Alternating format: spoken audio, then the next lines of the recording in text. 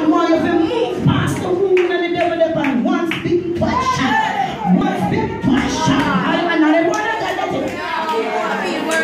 And I'm and the kind of God word out.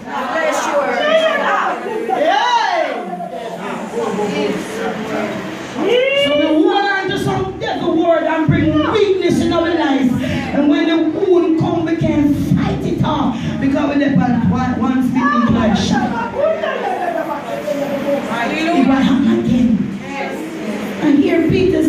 How much time do I must forgive? Seven times. Oh, 70 times seven. So that tells me not so much time you one person not gonna hurt me. Hallelujah to God. But one hurt feel like there's a thousand people hurts me. Hallelujah to God because it goes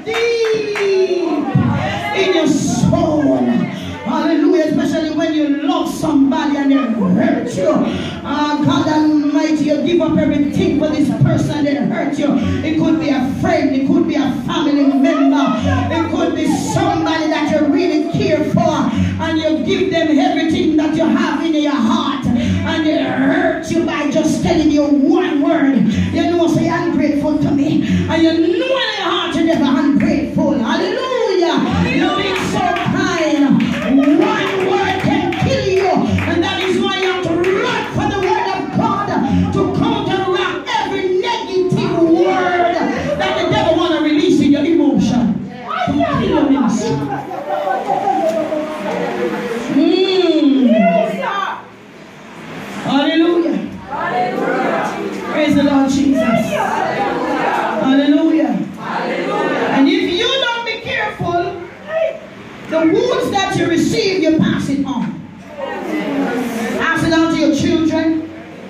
You pass it on in relationship.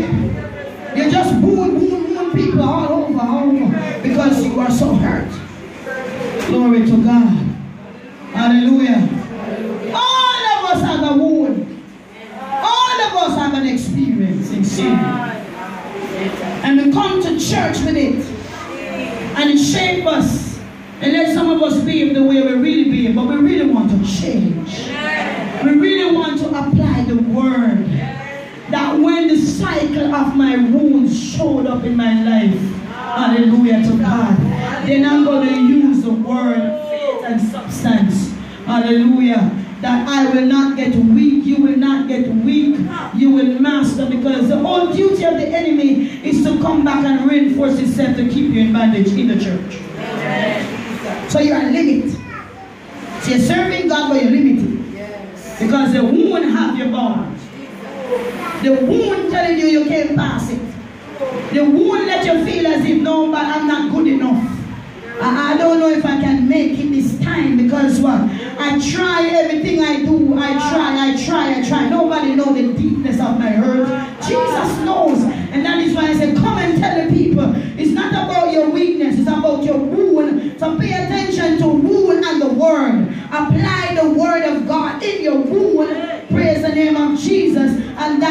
Can testify later on down the road that God has healed you through his word. Amen. Because sometimes God can tell us to do some things as well, and our physical body receive it uh, negatively. And when we receive it negatively, we say, God, I wound me, God, I hurt me. Yes. God don't hurt nobody. He wants us to walk in His will. And anything to cause us to go into His will, then come on, your first gonna feel the pain, but it's not a wound. It is a testimony to show that you need to walk in obedience. Praise the name of the Lord. God don't wound us. We were we are wounded by our own enticement and lust when we're drawn away one side to please the flesh. Then we get a wound. Many times God want to save us from the wound, but we are so stubborn and rebellious, and we have to go to the place to say, "Hmm, God, give me a chance. But you know, understand that some people that have no more chance. Some people get chance and don't make the use of it. And the wound is there in our life, in our life, and we can't pass it. Shout hallelujah, but it is there. We're smiling, but it is there. Nobody know but you are Jesus Christ. If you begin to apply the word, when the cycle show up, the test time show And begin to speak the word to the devil. You can go through testing and keep your mouth shut. You have to tell the devil you know because Jesus is saying, Thou shalt not tempt the Lord thy God. He opened his mouth and he talked back to the devil. So when you're going through your testing time, you have to open your mouth and say, Devil, I know you is here. But you will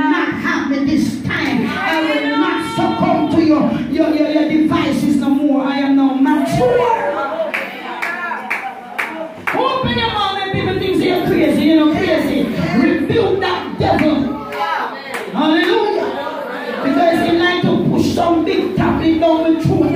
Ah, take it, man. Take the tablet. Take it. Hallelujah. The moment you take that tablet, Lord Jesus, you come like your clothes. Weakness come. Hallelujah. Hallelujah. We won't take the devil medicine no more. Brethren, you ready? You're going to apply substance. We have to learn to encourage ourselves as well. Look in the mirror, man. Tell yourself, I am wonderfully made by God.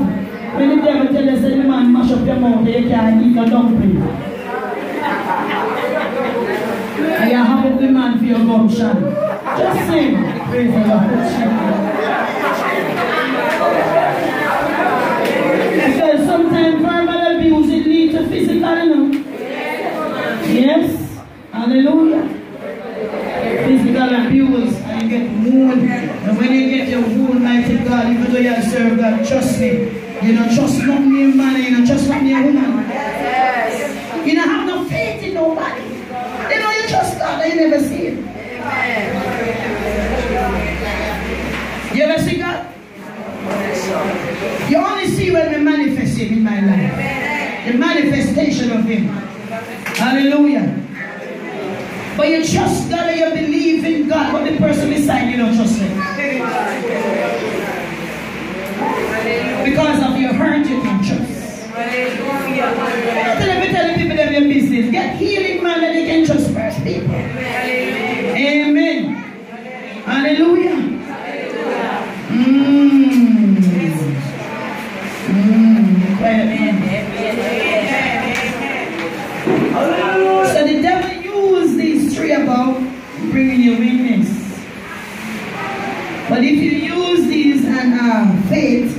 Then you will conquer your wounds. Amen, church? We want to be healed. We want to serve God without tormenting wounds. When the wound come, man, it make you feel like you're not served of God. It just torment you. We do the opposite. You just want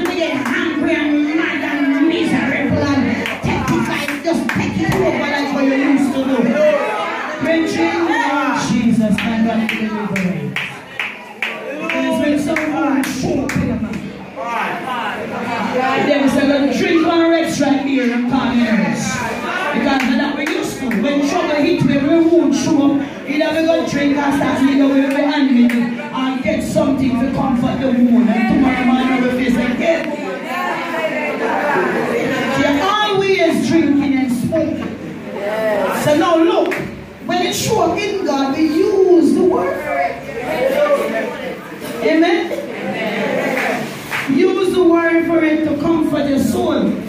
Because some of these wounds come from drive you to wreck.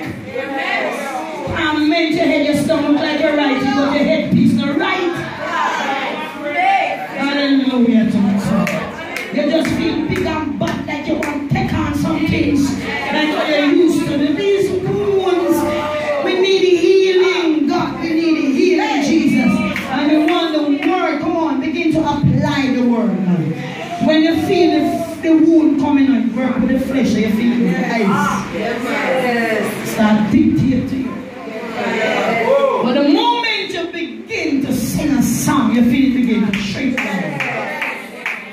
Hallelujah. The moment you get deeper in the song, you feel that flesh going back down. And that anger going back down. And everything going back into its place. Because you use a word or encouragement or a song to subdue. Hallelujah. I'm encouraging the church tonight. Do the opposite. When the devil show you the things to do, do the Hallelujah. Because if you listen to him, you're going to get a fresh wound. Reinforce yourself in this 2020 when sin increase.